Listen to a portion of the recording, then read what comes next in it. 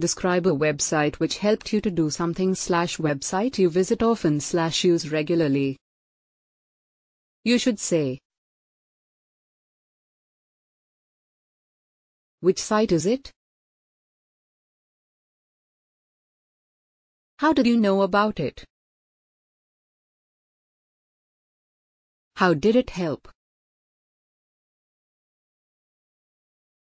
Why do you visit it often? As technology has continued to advance, more and more websites have been created to help people with everyday activities. One of these websites is YouTube, which I discovered and have been using for a few years now. It has become an invaluable tool, and I visit it almost daily. Which site is it? Here I would like to talk about how I learned about YouTube, how it has helped me, and why I continue to visit it often. How did you know about it? I heard about YouTube five years ago when my friends were talking about it in school. They said it was a great website with tons of different videos and music. They also said that it was easy to use and that you could watch whatever you wanted to. After hearing all this, I decided to check it out and see what it was all about. I was amazed at what I saw, so I decided to make an account and use it more often. How did it help? Since then, YouTube has been a great help to me. I have watched videos on various topics, such as cooking, music, movies, and so much more. Not only can I watch videos, but I can also upload my videos, which has been great for sharing my work with friends and family.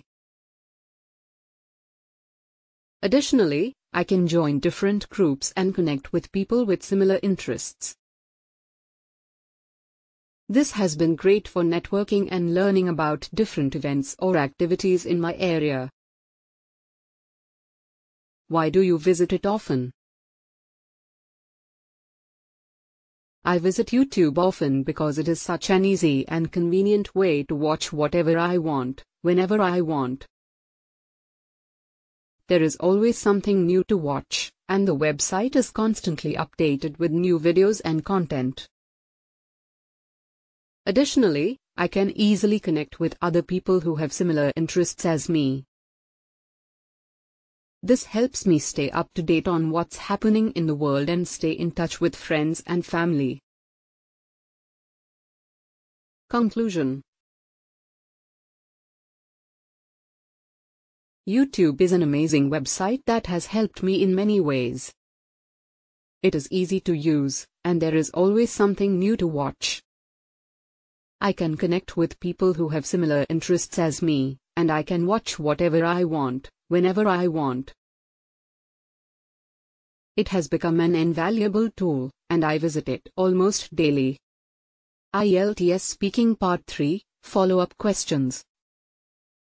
Here are some examples of follow-up questions that you may ask during your speaking part 3 by examiner related to cue card describe a website which helped you to do something slash website you visit often slash use regularly.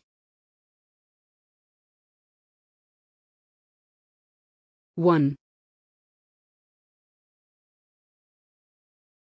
Who in your family uses the site?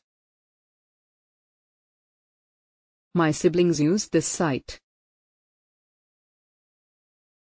Sometimes my father also uses it. Give your personal answer. 2. Can the internet help children in their studies? Yes, definitely.